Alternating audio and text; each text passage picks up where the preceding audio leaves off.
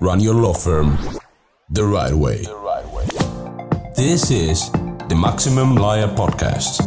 Maximum Lawyer Podcast. Your hosts, Jim Hacking and Tyson Mutrux. Let's partner up and maximize your firm. Welcome to the show. Welcome to another episode of the Maximum Lawyer Podcast. I'm Becca Eberhart, CEO at Maximum Lawyer, and today I'm doing a quick episode on three things that I recommend that can help you simplify a few things that a lot of us do quite often. So, my first recommendation is going to be unroll.me. So, that's U N R O L L dot me. Maybe your promotional or spam email has gotten out of control but you don't even know where to start with tackling that daunting task. Unroll.me helps cut out a lot of time and simplifies this task. With Unroll.me, you can unsubscribe from unwanted emails, keep or roll up your emails into a condensed version. It takes a couple of steps to set this up, and then the site does the hard work for you. First, you'll have to set up two step verification, then create an app password to allow Unroll.me to have access to your email account. The site does walk you through these two steps. And then after that is when they will find all of your subscriptions. On my personal email account, I had 65 subscriptions, which is way more than I thought I had.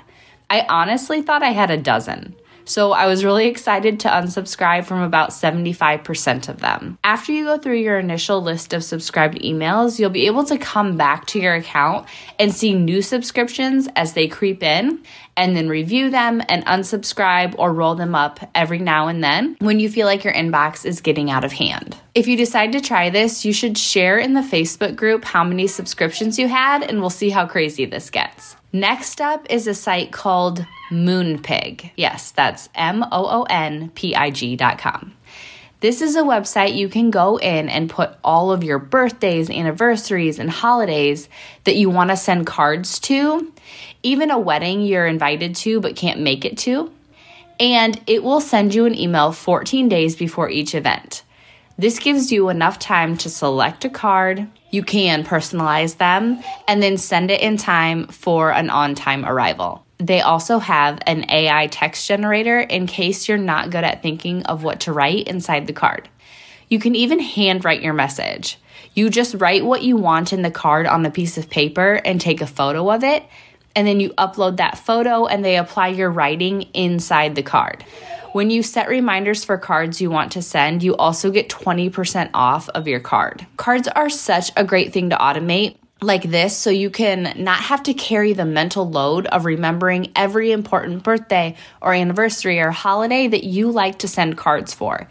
By entering the dates in once, you'll get reminders on repeat and never have to personally remember another special event or save this errand until the last minute and hope it ships in time to make it not look like you waited until the last minute to run to the store to find a just okay card and send it out. Moonpig will be your assistant reminding you ahead of time. And being able to personalize your card's text and even pictures makes you look extra thoughtful. Finally, my last recommendation is Camel Camel Camel, which is a free Amazon price tracker. Here's my issue with Amazon. A lot of the time, deals or discounts on Amazon are not real. This was just a theory I had until last year during Amazon's Prime Day deals in July I looked up a handful of items a couple of weeks prior to the Prime days that I would be interested in buying if there was a great deal on them. I took screenshots of them so I would know it was the exact same item and what the price was two weeks earlier. One item had the red Prime Day deal banner and was the exact same price it was listed for two weeks earlier. Another was listed as a Prime Day deal as 54% off though two weeks earlier it was $22 and on Prime Day it was $18. They just made the listed price higher so that the sale appears to be larger than it was. Another item actually costs slightly more than it did two weeks prior. Enter the website camelcamelcamel.com. You can get price drop alerts or you can see the price history of an item. To set a price drop alert, you just enter your desired price you want to pay. And once the price drops to that price or lower, they'll send you an email notification. Or if you want this information at your fingertips, you can add the Camelizer browser extension to see the price history as you browse in Amazon. You'll see the highest price it's been, the lowest price it's been, and the current price. This can help you determine if you don't need something right now, then you may want to wait until the price gets back down closer to that lowest price. That's it for this week. I hope you find these recommendations helpful and they can simplify a few things in your life. Thanks for listening to the Maximum Lawyer Podcast. To stay in contact with your host and to access more content, go to MaximumLawyer.com. Have a great week and catch you next time.